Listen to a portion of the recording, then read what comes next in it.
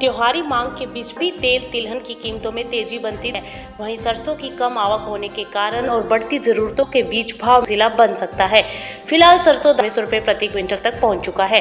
का कहना है कि नई फ़सल आने के वक्त सरसों की मांग बढ़ेगी, जिससे दाम में मिल सकती है। त्योहारी मांग के बावजूद दिवाली कमज़ोर रहने से बाकी खाद्य दायरे में कारोबार देखने को मिल रहा है। की माने तो पिछले साल सहकारी संस्था एनसीडीएक्स में अपना स्टॉक रखा था, जिसे बाद में था। इस तेल की डिलीवरी बगैर कंडीशन मिली थी लेकिन इस बार जो कोई व्यापारी अंशेगा उसे यह बयालीस प्रतिशत वही सरसों तेल के विशेषज्ञों को फ़सल आने के समय सरसों के पुराने दानी है और सरकार को इन स्थितियों को ध्यान में रखेंगे। फ़िलहाल जानकारों की माने तो के चलते सरसों की कीमतों में एक तेज़ी बन टोटम में सरसों के अंदर खरीदारी करके चला जा साली तक ये तेज़ी कायम रह सकती है। उसके बाद का रुख बन सकता है। ब्यूरो